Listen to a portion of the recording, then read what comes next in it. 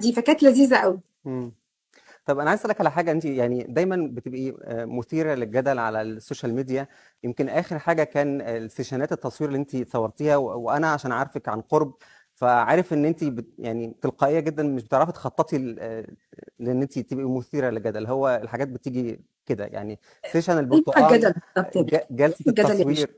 لا يعني مثلا جلسة التصوير الخاصة بالبرتقال دي أنا بالنسبة لي كنت بحبها جدا عشان هي موالح هو البرتقال جدل يعني هو البرتقال إيه اللي إيه اللي جدله؟ هو هي فكرة إيهاب العدلي طبعا مم. ال art director وال stylist اللي هو دايما مسؤول عن طلاتي الجميلة يعني.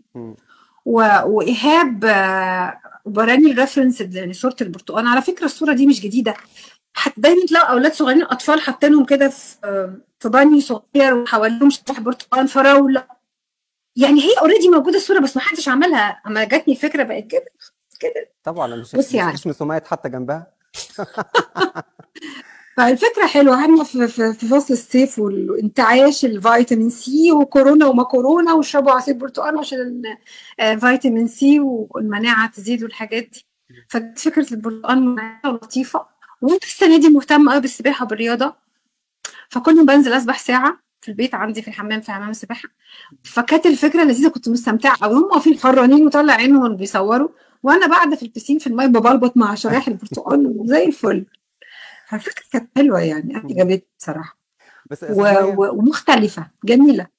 آه، أنا بحس إن انت يعني زي ما يكون في حد آه، ممكن يكون متربص لك أو بيحاول يقلب الحاجات العادية لحاجات آه، تبقى ضدك. يعني مثلا أنا فاكر فاكر في دماغي. فاكر كويس قوي آه، التكريم اللي انت خدتيه في السعودية اللي هو كان من جمعية آه.